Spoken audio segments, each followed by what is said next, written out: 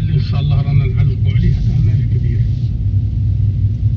هذا كل موجودين في بوطب لأن بوطب وهذا يعني بفضل الله وبفضل المخلصين تاع هذه البلاد صبحت أول سوق في الجزائر. السوق الأولى في الجزائر هي بوطب وهذا يعني ما جاش من باب الصدفه علاش لحقت بوطب السوق الأولى في الجزائر؟